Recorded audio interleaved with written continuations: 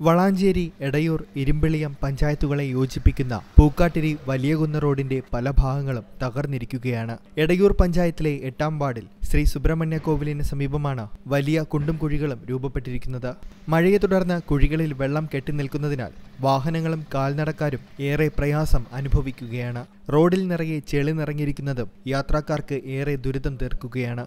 വണ്ടി റോട്ടിൽ കൂടെ പോകാനും വയ്യ നടക്കാനും വയ്യ ആൾക്കാരുടെ വീണ് തലകുത്തി മറിഞ്ഞ കാണാൻ ഇതൊന്നും ശരിക്കും പറയുകയാണെന്നുണ്ടെങ്കിൽ ഈ റോട്ടിൽ കൂടെ പോകുന്ന ആൾക്കാർ കാണില്ല തോന്നുന്നുണ്ട്. എങ്ങനെ ഈ റോട്ടിൽ കൂടെ പോവുക ശരിക്കും പോകാൻ വയ്യ. പലരും പരിചയമില്ലാത്ത ആളുകളാണെങ്കിൽ യാതൊരു സംശയമില്ല അവർ കുടുങ്ങൽ തന്നെ. അവിടെ വീണ് നമ്മുടെ വണ്ടിയുടെ ആക്സിഡന്റ് മുറിഞ്ഞ് കിടക്കുകയാണ് ഇപ്പോൾ വേറെ വണ്ടികളൊക്കെ കാറുകളൊക്കെ വരുമ്പോൾ അതിന്റെ വടിയൊക്കെ തട്ടുന്നുണ്ട് ഇവിടെയൊക്കെ.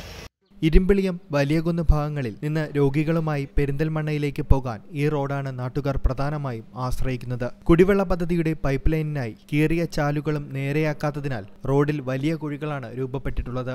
ഏക ആശ്രയമായ ഈ റോഡ് അറ്റകുറ്റപ്പണി നടത്തി ഗതാഗത യോഗ്യമാക്കണമെന്നാണ് നാട്ടുകാരുടെ ആവശ്യം. C Malayalam news Malappuram.